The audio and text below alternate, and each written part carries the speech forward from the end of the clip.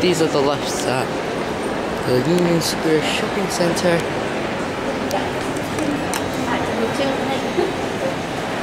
Okay, darling, just wait, it's no rush. Right, um, we're going to... Goes to one. One? Yeah.